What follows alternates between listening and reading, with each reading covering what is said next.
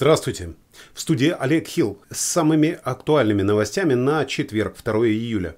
На очередном своем заседании Борис Джонсон вступил в дистанционный спор с Никола Стерджин из-за ее угрозы изолировать людей, въезжающих в Шотландию из Англии.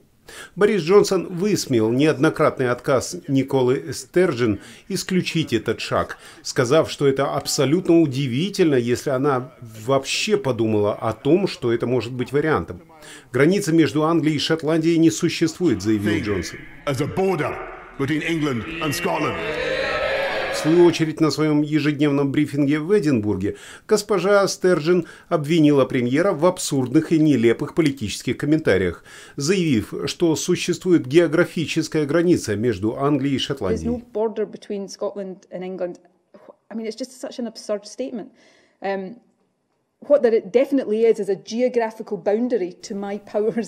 Чувствуется, что возникла очередная напряженность в отношении между мистером Джонсоном и мисс Стерджин, которая ранее обвиняла его за то, что он действовал безрассудно, слишком быстро ослабляя карантин. Чемпион мира по боксу в тяжелом весе по версии WBC Тайсон Фьюри пожаловался на проявление расизма из-за своего цыганского происхождения.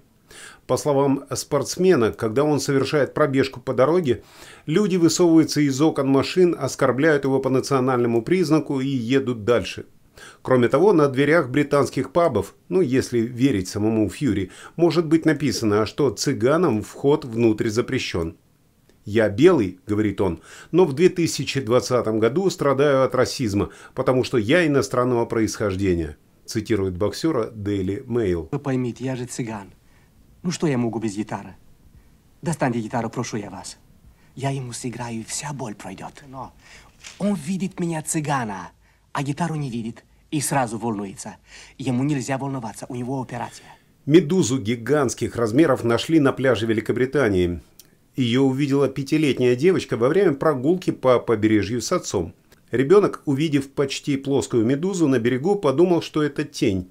Отец девочки побоялся подпускать ребенка к потенциально опасному созданию, но ребенок все же уговорил папу сделать несколько снимков. Судя по фотографиям, эта медуза относится к виду арктических цианий, являющихся крупнейшими медузами в мире. Если циания ужалит человека, то может оставить ожог. Крупные особи этого вида, беспозвоночных, считаются потенциально опасными для людей. Ну, не знаю, я на местном побережье только маленьких акул да крабиков находил. А вам тут что интересного попадалось?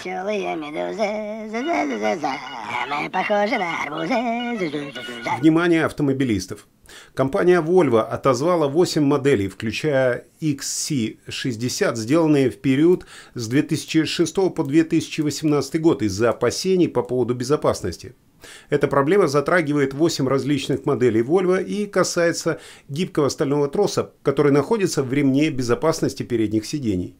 Volvo утверждает, что износ кабеля может привести к снижению функции удержания ремня безопасности э, в случае экстренного торможения. Список вы можете увидеть на экране. Ну да, получается и хорошая машина может подвести. А вот хороший инструмент никогда. Лучший подарок для мужчины – инструменты Аргил Иса. Всегда к месту. На кухне, в походе, на охоте и в любых экстремальных ситуациях. Аргил Иса всегда рядом, всегда поможет. По промокоду LAT07 вы получите скидку на любое изделие этой компании.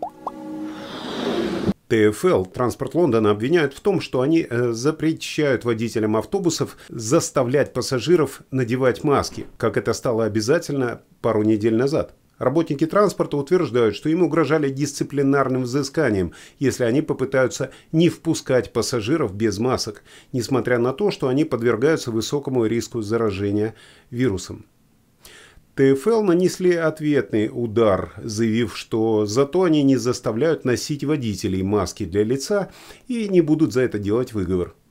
Согласно новым правительственным постановлениям, полицейские и работники ТФЛ имеют право приказать людям выйти из автобуса или из транспорта, если они не носят э, хотя бы покрытие для лица. Ты подсак, ты подсак, и он подсак, а я четланин, и они четлане. Так что ты цак надень и в пепелаце сиди, ясно? Владельцы пабов сообщили, что готовятся держать свои двери закрытыми в предстоящую суперсубботу, несмотря на то, что всем пабам разрешено открыться после трехмесячного карантина. Владельцы некоторых пабов э, говорят, что в эти выходные есть опасения, что они не смогут безопасно работать, так как посетители готовятся выпить все, что смогут после первой выпитой пинты. Некоторые даже опасаются, что отделения скорой помощи могут быть заполнены пьяными в таком масштабе, который обычно происходит в канун Нового года. В то время как крупные пабы, ну такие как Везерспун, планируют открыть сотни своих пабов по всей стране э, с помощью целого ряда мер безопасности, некоторые пабы поменьше решили не открываться в эти выходные, заявив, что они еще не готовы к безопасной работе. Ну, а вы пойдете промочить горло в ближайший паб? Звезда Монти Пайтон, сэр Майкл Пейлин, присоединился к призывам изменить дизайн одной из медалей королевы, после того, как была подана петиция, утверждающая, что этот орден расистский и похож на убийство Джорджа Флойда. В одной из самых высоких наград королевы ранее была изображена белая фигура ангела, стоящего на шее черного человека. Изображение изменили в 2011 году на изображение светлокожего дьявола, а убивающий его является изображением архангела Михаила. Сэр Майкл был назначен рыцарем-командиром ордена Святого Георгия и Святого Михаила в 2019 году, когда дизайн был уже со светлокожим дьяволом. А вот ранее получивший награду генерал-губернатор Ямайки, сэр Патрик Аллен, заявил, что он больше не будет ее носить, пока ее не переработают. Кабинет министров заявляет, что предпосылка петиции является неточной, поскольку дизайн был переработан 9 лет назад и теперь содержит светлокожего дьявола. Ну а вам какой дьявол больше по душе, черный или белый?